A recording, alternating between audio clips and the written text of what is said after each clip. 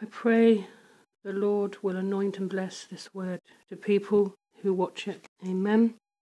To all of you who are subscribed also. Yeah, amen. So Jesus Christ taught, do not be deceived. Many shall come in my name, saying, I am Christ, and shall deceive many. Okay? Take heed that no man deceive you. This is Matthew 24, verse 4. Verse 5 says, For many shall come in my name, saying, I am Christ, and shall deceive many. So we have to be not deceived. It's a time of deception. When you're in the end times, which people, by and large, in Christendom believers now, end times, there is much deception. So we need to be careful of the deception. Amen. We need to pray. Lord, guide our minds. Amen. And what I want to show as well, I think the Lord is on this. He wants me to show how what you see, the order of events, how it clearly ties in with Amos. Um, and Matthew 24 and Revelation 6, time with each other. So you shall hear of, Lord, I just pray and guide me, guide my words, guide my steps, Father. Pray also anything you want me to learn from anyone else and put out. I pray that that will happen. Just your will, your words only. Pray you'll touch my lips, anoint my lips. I only want your word. And also your love and comfort to go out to others, Lord. Your whatever you want, and, and, and for protection from deception, whatever you want, in Jesus' name. Lord, may it be your words, Father. Pray you'll deliver me from myself. Hallelujah. Right.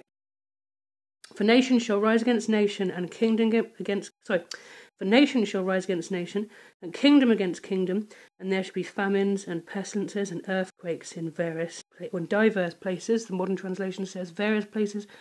The uh, King James is diverse places. So that means if it's in various, like diverse, as in as in diversity of places, what I believe the Lord Holy Spirit put on my heart is we can expect um, there's going to be Nation rising against nation, kingdom against kingdom, famines, pestilences, earthquakes in various places, um, the wars and the rumours of wars, where we are, wherever we live, okay? All these are the beginning of sorrows. That's just the beginning. Amen. Then, then shall they deliver you up to be afflicted and shall kill you.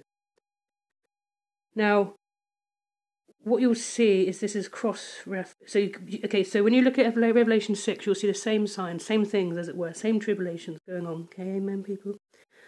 Um, and what I noticed when I got this King James recently is it says they will, then shall they deliver you up to be afflicted. So I was checking it's still recording. Sorry, I looked. I thought like it might not be then. Sorry, they shall deliver you up to be afflicted and she'll kill you.